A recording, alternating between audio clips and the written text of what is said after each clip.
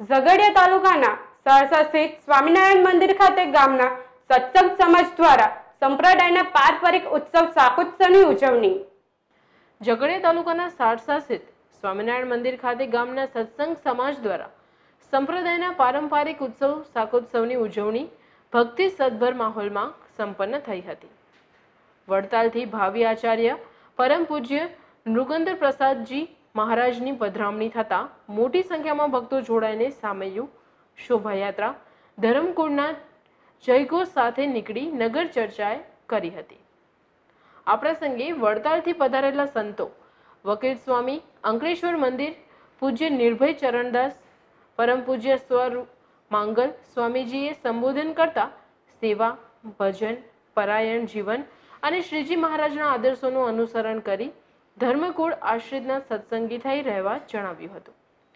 પરમ પૂજ્ય રુગેન્દ્ર પ્રસાદજીએ સત્સંગ સભાને સંબોધતા જણાવ્યું કે આત્મબળથી ભગવાન પર ભરોસો રાખી ભક્તિ કરવી તે માટે હૃદયથી આર્તનાદ નીકળવો જોઈએ. રૂડું જીવન સત્શાસ્ત્રોના પઠન કવનથી થાય છે. જીવન મોક્ષ માટે સત્સંગ થકી સદગુણો આવે છે. લોહ સમાન છે. સત્સંગ અનમોલ છે.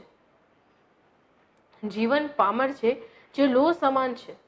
સત્સંગ થકી સદ્ગુણો આવે છે. કપડાં બદલાવવાથી કલ્યાણ થતું નથી. એમ સમજણ બદલવાથી થાય છે. ચીજ સારા અને નબળા બને માં હેત કરે છે.